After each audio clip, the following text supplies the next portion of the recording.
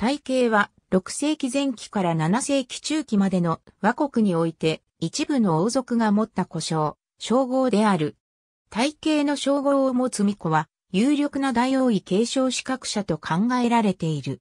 体系は大王家のみならず一般豪族にも見られる故障である。体系の意味について直接説明した同時代的資料はない。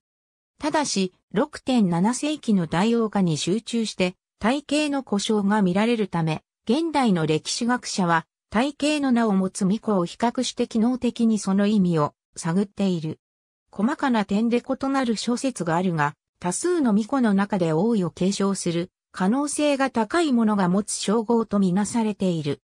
当時、自天下大王の地位継承は、大王の一世王にあたる巫女に優先権が認められており、その中で、長兄時系、末帝というように兄弟間で行われ、末帝が没した後は、長兄の長男に、皇位承継されることが慣例となっていた。当時は、一夫多妻であり、大王家に複数の同母兄弟グループが存在していたが、この同母兄弟間の長男が体系という称号を保有していた。したがって、体系が同時期に複数存在したこともあり、体系を称する王子同士でしばしば皇位継承の紛争が起こった。しかし、体系は同時期に一人に限られていたとする説もある。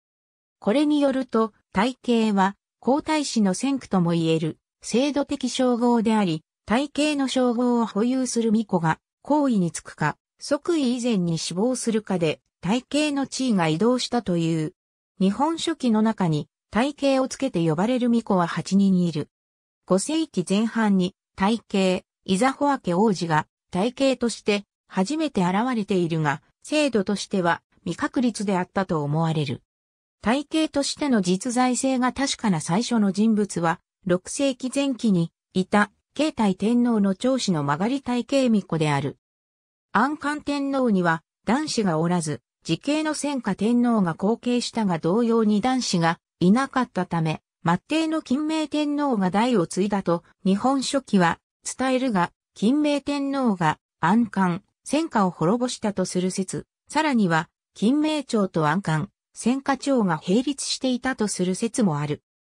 その後の体系には、金明天皇の子である八田生勝体系巫女、金明天皇を後継した美達天皇の子である、押坂の彦人体系巫女、美達天皇の異母兄弟である、大江巫女、陽明天皇の子馬屋と王子の長子である、山城の体系王、除明天皇の長子である、個人体系巫女がいるが、これらの王へのうち大王位についた例の方が少ない。さらに、水古天皇の死後には、体系の着男と皇太子、摂政の着男である体系のどちらが皇位継承にふさわしいかで紛争を起こしたケースも存在する。